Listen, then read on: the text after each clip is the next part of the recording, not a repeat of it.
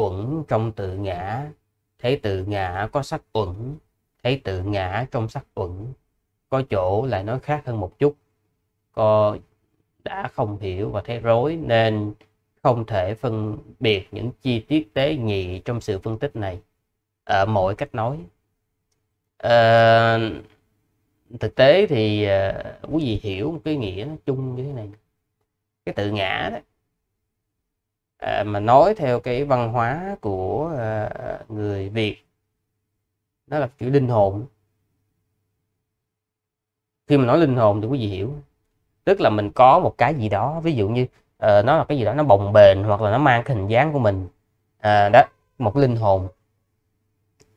À, rồi uh, khi mà mình à, nhìn vô cái tấm thân này nó mình nghĩ là trong cái tấm thân này nó có linh hồn. À, đấy rồi mình thấy là cái linh hồn nó đang nó đang điều khiển cái tấm thân này. Rồi uh, mình nghĩ mình là cái linh hồn này mà cái linh hồn này là mình. Đấy. Ừ, khi mà nói về tự ngã đó thì nó có những đặc tính. Thứ nhất á, à, là cái mà sư nói đó là à, mình à, nghĩ là nó có cái đặc tính điều khiển đặt có đặc tánh điều khiển. Tức là cái linh hồn này nè mình cái linh hồn này nó điều khiển mình làm này điều khiển mình làm cái kia. Điều khiển tấm thân này làm cái này điều khiển tấm thân này làm cái kia. Mình nói cái linh hồn nó điều khiển mình thì nó nhiều người không hiểu nhưng mà uh, nói cái linh hồn của mình ấy, nó điều khiển là mình điều khiển cái đời sống hàng ngày. Thì nhiều người họ dễ chấp nhận cái khái niệm đó. Thì đó là cái thân kiến. Ừ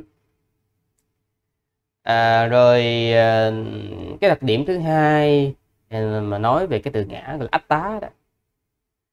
À, tức là gì? À, cái đặc điểm là trường tồn bất biến. Tức là chúng ta nghĩ là cái à, cái linh hồn này đó nó vĩnh viễn nó như vậy. À, mình nếu như mình có chết thì mình chẳng qua là mình đổi cái thân khác. À, nhưng mà cái linh hồn nó vẫn vậy. Thí dụ như à, cái thằng tèo thằng tèo nó đi xuống nó làm con chó thì nó cũng là con chó mang cái linh hồn thằng tèo.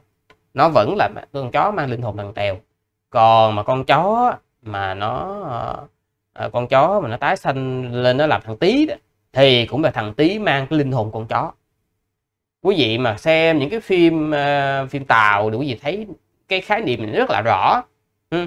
à, ví dụ như là có con chó mà nó sanh nó sanh làm người thì à, nó vẫn là người mang linh hồn con chó mà con người mà sanh làm chó thì nó vẫn là con chó mang linh hồn con người. À, nó mang tính chất là vĩnh cửu.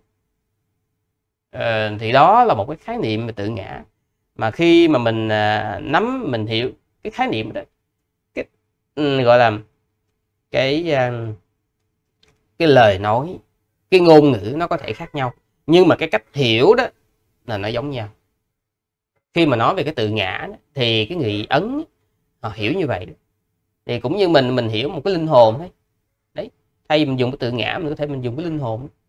Ờ, thì nó là cái quan điểm sai lầm. Ừ, do cái quan điểm à, là trường tồn à, một cái một cái ý nghĩa của cái việc trường tồn. Rồi à, một cái ý nghĩa nữa đó là nó mang cái tính chất là nó thụ hưởng tức là gì? À, tức là mình ấy mình mình mình mình làm cái nghiệp này thì mình chính mình chịu cái quả báo. Quý vị thấy nó không có nó không có lệch nó mình quý vị đâu có thấy nó lệch gì đối với ờ, chánh pháp đâu. Nhưng mà nó lệch thì nó lệch ở chỗ này nè.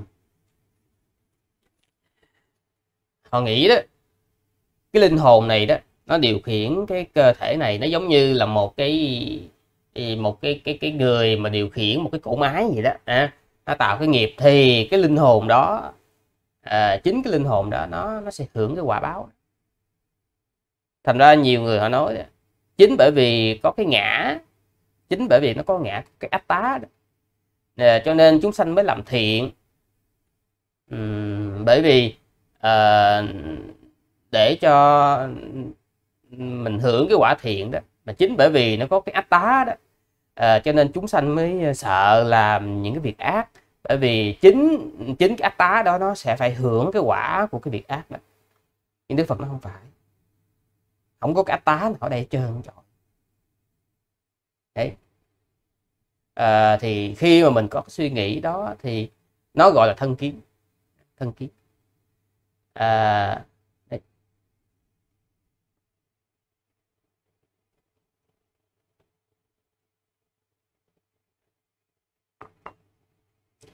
À, ngoài ra thì um, sư có một cái video um, có một vị thì vị đó giảng về cái bài kinh vô ngã tướng. À, sư thấy rất là hay. À, mà sư nghĩ là cái vị mà hỏi cái này nè à, quý vị à, nên nên à, nên xem ha, nên xem. Đây cái bài kinh này.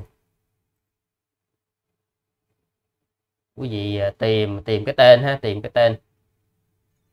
Đây tìm cái tên. Đây. À, kinh kinh tạng. À. Để gõ cái tên này ra.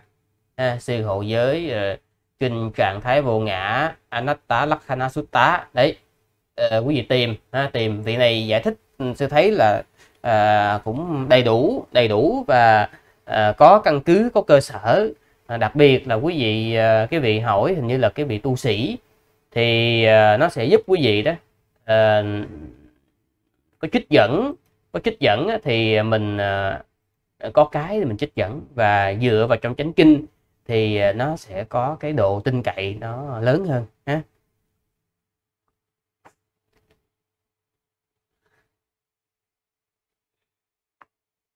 vì thông cảm này. tại vì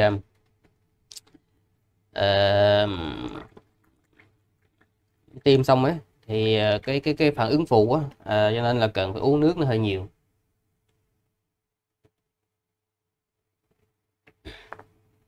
bác sĩ khuyên vậy đó. Mà sư thấy cũng khát nước thường.